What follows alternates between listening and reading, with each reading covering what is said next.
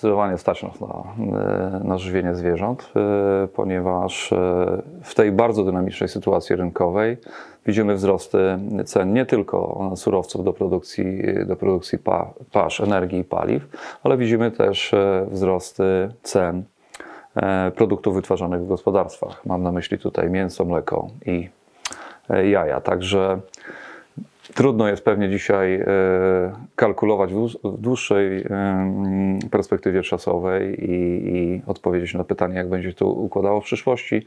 Natomiast dotychczas mniej więcej to się e, w ten sposób odbywa. Ja nie widzę takiego, e, takiego zagrożenia. Tak jak wcześniej rozmawialiśmy, e, jesteśmy krajem rolniczym, jesteśmy krajem samowystarczalnym, jeśli chodzi o zboża.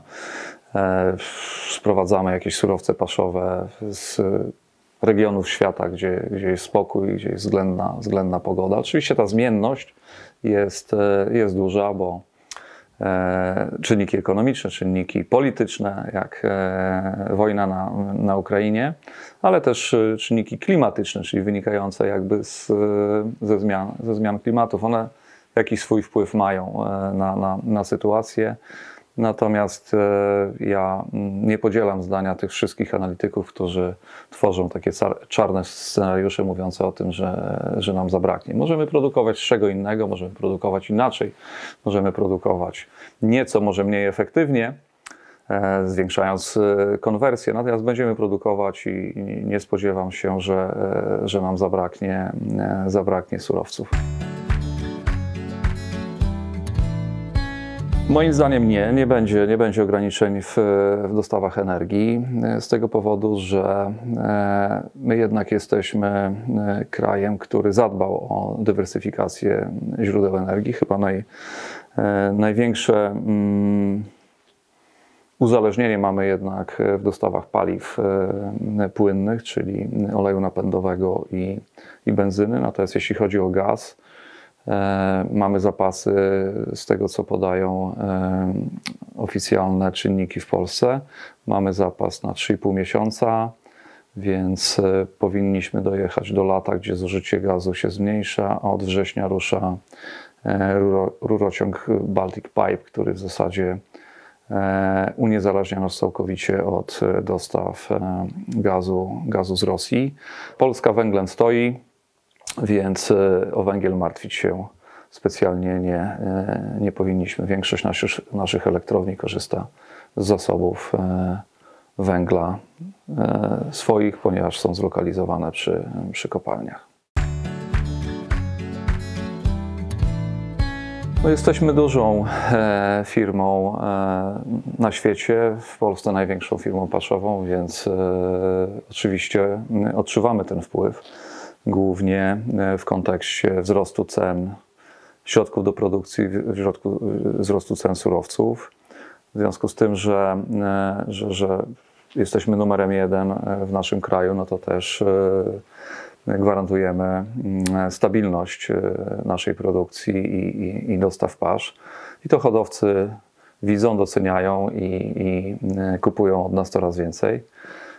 My to mm, rozumiemy, za to dziękujemy i staramy się e, spełnić e, oczekiwania i dostarczyć e, paszę do wszystkich hodowców, którzy u nas zamówili.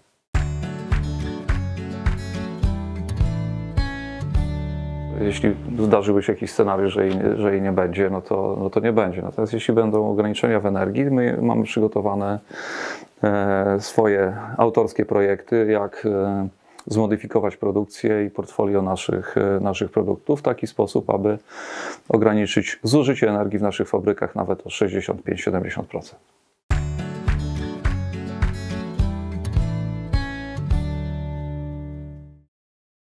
Po pierwszych e, doświadczeniach takich e, terenowych, czyli sprzedażach i, i żywieniu na, na kurnikach, wyniki techniczne są e, nawet lepsze niż, e, niż były wcześniej. No oczywiście na to pasze mają swój wpływ, ale również podejście hodowców i uproszczenie całego procesu produkcji mm, ma, ma również wpływ na wyniki techniczne, ale żadnych niekorzystnych różnic nie, nie widzimy.